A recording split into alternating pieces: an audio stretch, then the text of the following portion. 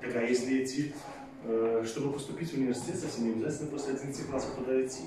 Идете в колледж, получаете профессию, а потом осознанный выбор делаете, куда вам дальше идти. Работать или работать в университет, по какой специальности. Сегодня все вы определитесь, на какую специальность идете? Вот. Ладно, я по-другому.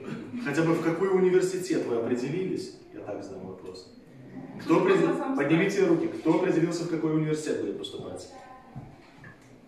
Половина с этой половины. Нет? Да, мы покинули.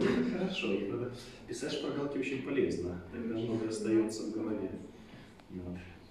Какие у вас предметы? Но у меня, Учитель. я, я не учитель, я Да. методист. Методист. Курирую спорт. Спорт, да? А я заместитель, а по образованию начальник класса. Начальник класса. Ага. Я наставник белорусской мовы и литературы. Вельми добро. Да. Добро то, что не сопрестовите.